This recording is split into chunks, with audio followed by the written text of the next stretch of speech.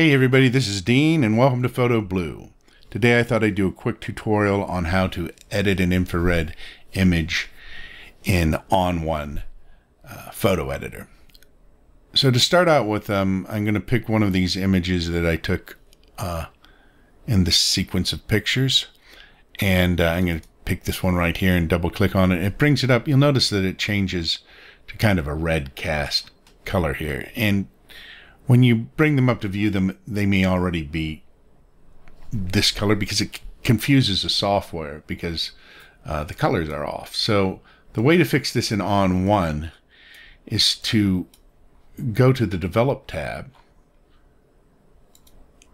and down here to Tone and Color. And you scroll down here to where it says color and you see temperature. And you see right over here there's a K. If you click on this, it shifts it back to kind of uh, what it should look like in infrared before you swap the colors. Now, once we get this, what we want to do is we want to adjust the exposure and the contrast to the way we want it.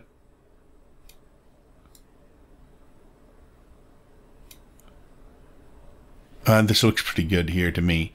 Now what we want to do is we want to swap the colors or swap the channels uh, in this. Now, I'm just going to show you how to do it basically and very quickly in ON1 and in later videos. I'll show you how you can really make some better adjustments using ON1. Uh, but to shift the channels in, or in uh, ON1, you use a channel mixer just like you would if you were using Photoshop or another photo editor that had the capability. Uh, but in ON1, we actually click on the effects tab over here and go add filter. And if we go here and select channel mixer, it gives us the channel mixer. Now we can manually um, mix the channels, but ON1 actually has an IR swap uh, preset already set up. So if we click on that, you'll see it switches the color. So now the sky is kind of a blue cyan color, and the foliage is now kind of a reddish, orange, orangish color, almost a little bit pinkish right there.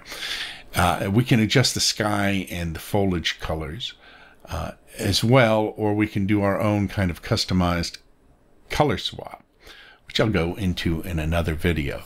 So that's how you uh, edit an infrared image in ON1. Now, if you want to, what you can actually do is you can go back and go to to browse again. And we can go here and we can go to uh, copy settings right here. And if we do that and then we select, we can select all of the uh, images that we took in the shoot if we want, or we can just select some of them. We can go here and select them and then we can uh, paste the settings and it will apply the settings that we did. And you'll see it will automatically switch those settings. Now, the good thing about this is we'll have to go to each image to adjust the exposure and, and do whatever adjustments we want. But you can actually uh, do this to an entire uh, shoot so that you can have a better idea of what the final product might look like uh, or, or just have a kind of a base where you can see the sky is blue and the foliage is, is a red or a pinkish color. So that's how you uh, edit infrared images in ON1 photo editor. This has been Photo Blue, and I'll see you next time.